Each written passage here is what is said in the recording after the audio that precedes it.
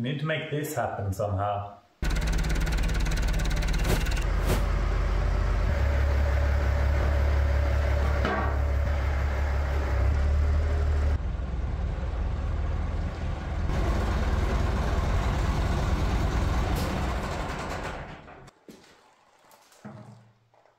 We need to make this happen somehow.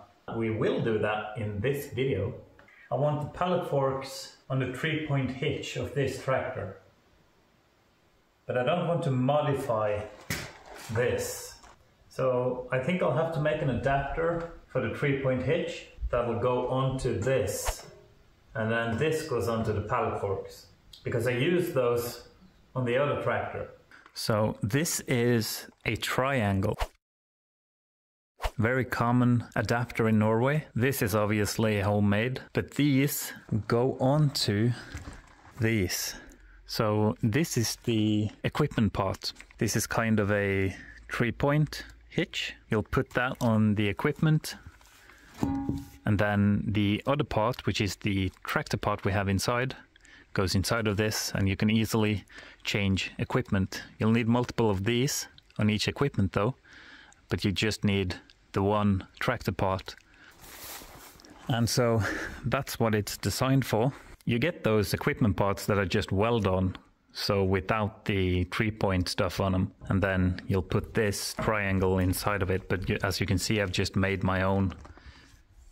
I've just made my own kind of adapter or brackets rather that this triangle fits inside because these forks are homemade. But what I'll do is make an adapter for the three point hitch on this tractor. I'll make an adapter that goes inside of these. So we'll need some type of pipe through here. And then we just need to weld on some flat bar or something that can connect to those in order to lock it. I'll just use a pin and then we'll need to support it with something to make it sturdy and nice. Yeah, that's the plan. Get those forks onto the three point hitch. I think first order of business will be to put the three point hitch back on. Wait, how was this mounted? Right, it goes like that.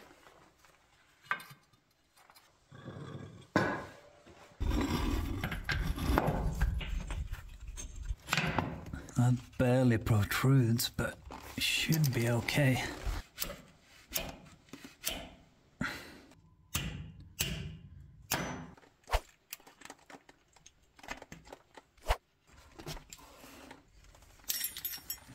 This one should go through.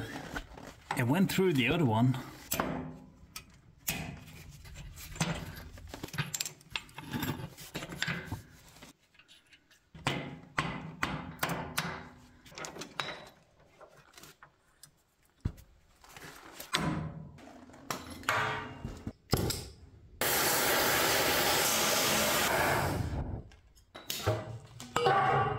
Well, that wasn't the prettiest cut. The big nozzle is, yeah, I don't like it.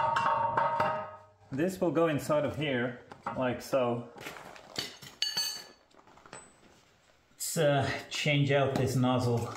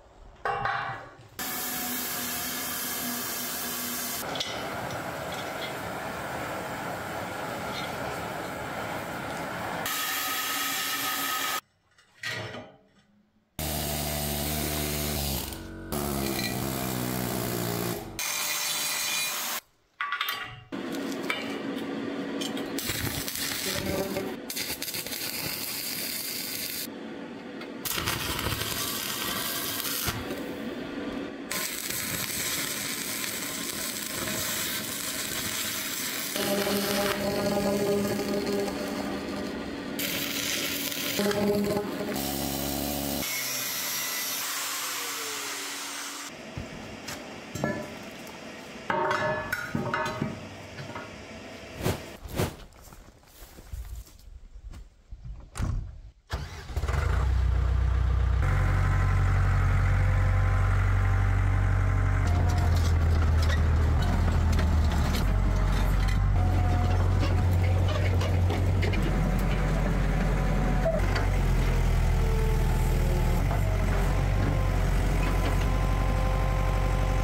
I'll use this three point hitch attachment from the old snowblower.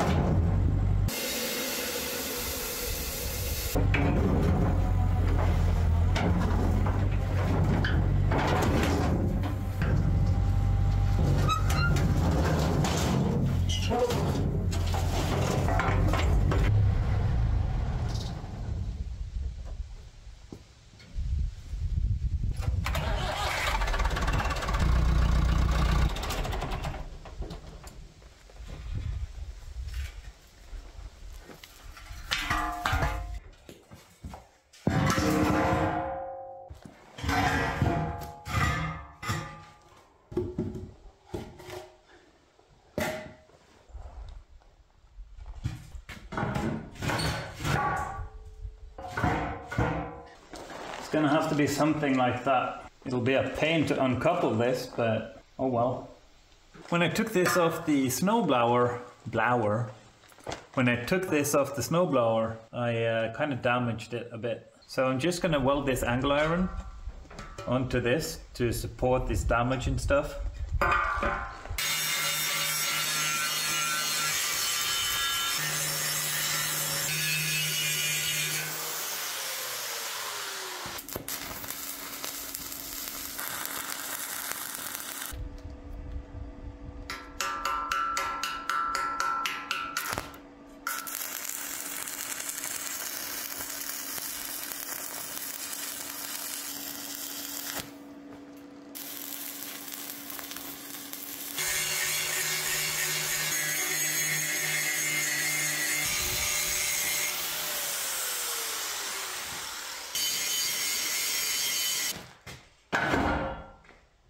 I'm gonna weld around here. I'll notch out a plate that I'll weld to this and then around this pipe.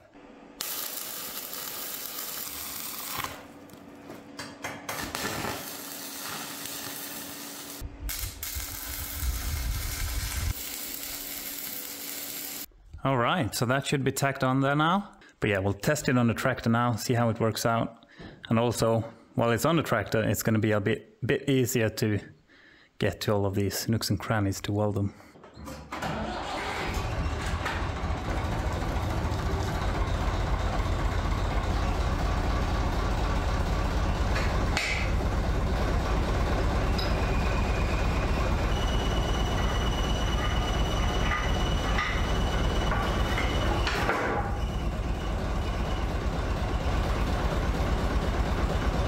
I'm going to use it basically once a year to drive my firewood pallets into the shed. I had an adapter for the front loader, but now that I've repaired the front axle, everything's brand new over there. I don't want to break anything. That's why I'm using the three point hitch instead. I think that's going to be just fine. I couldn't find a pin for this, so I just used a bolt. I'm going to drill a hole in it so I can put one of those locking pins into it. Right now, we are going to finish welding this. We need to make some plates that go around this so that I can get some nice welds around it.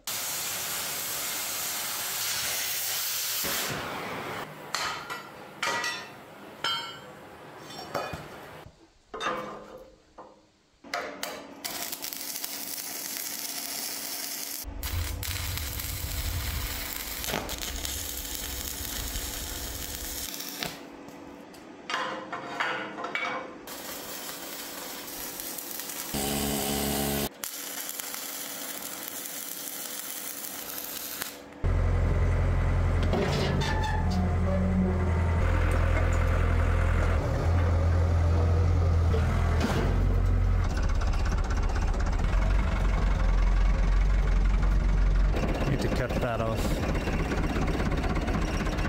Should be good enough for testing.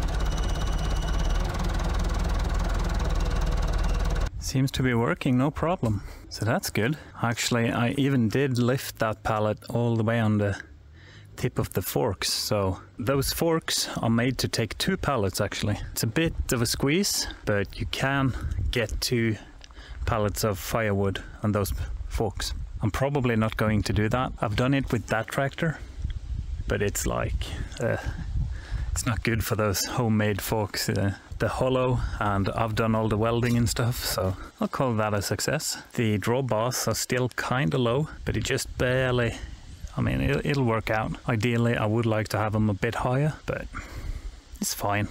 This way it'll lift higher. All I'm going to use it for is transporting these pallets of firewood into my shed for the winter, and that's basically once a year.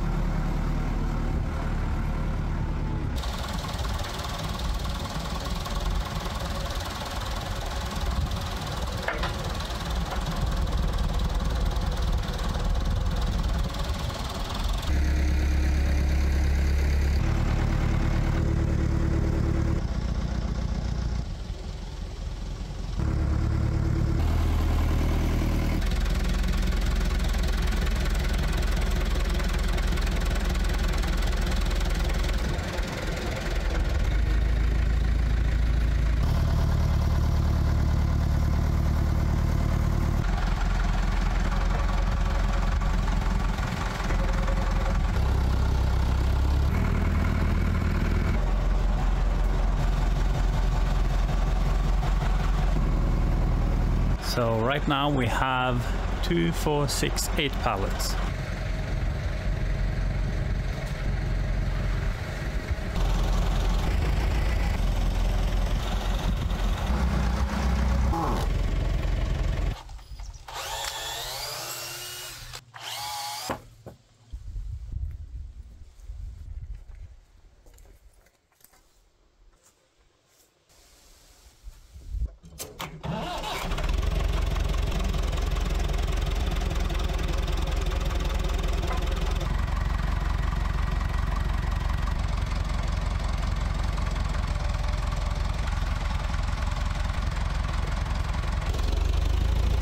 If I can get another pallet in there, then this is actually quite spacious. If I play my cards right, I'll get two, four, six, eight pallets, maybe 10, probably eight. I'm not sure if I have eight pallets. I think I have seven actually.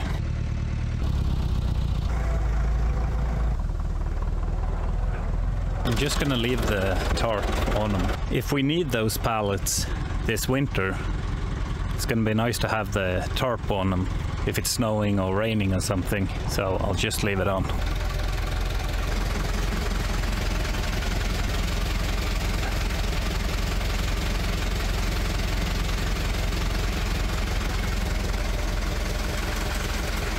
Nice. Two of them in the width. This is almost one row. So we have one, two, three, four, five rows. That tarp rolls down. So as long as they're behind to where you can close this, this zipper should be good. So maybe we get 10 pallets in here. I don't have 10 pallets, but we'll be making more in the winter, so I can fill this up. I think I have seven, maybe eight, but at least all of those will go in here. There's a hole right there I need to fix. Let's put the rest of the pallets in here.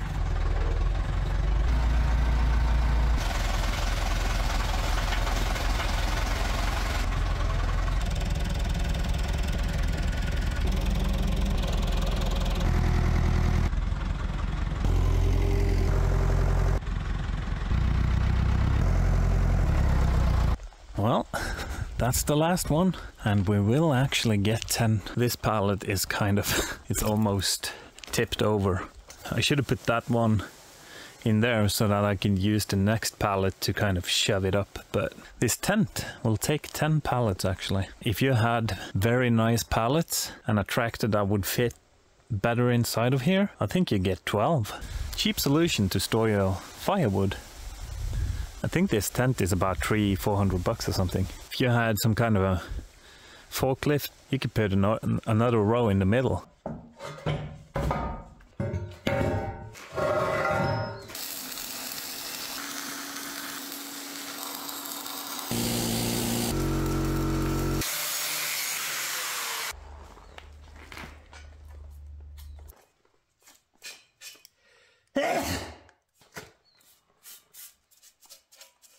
There you have it, all done.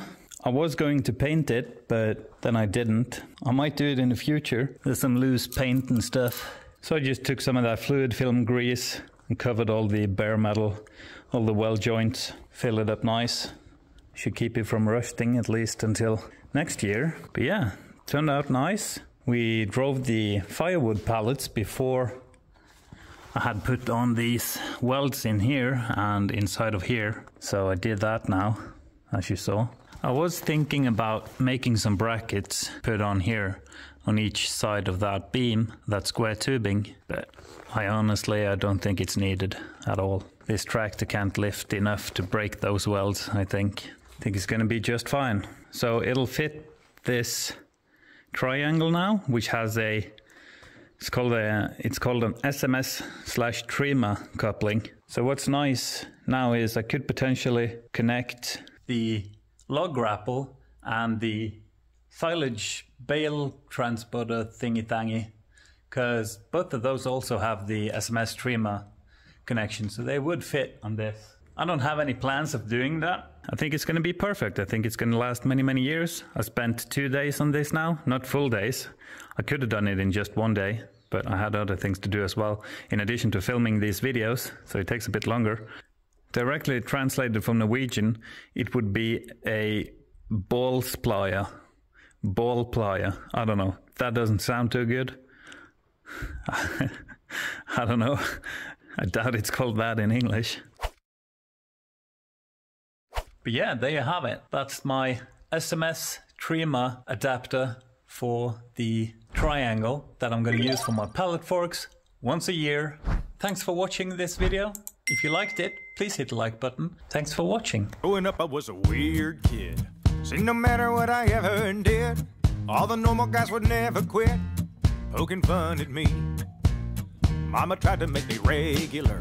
She said the Lord above was testing her. As I grew more and more peculiar, unashamedly. When people say that I'm a strange duck,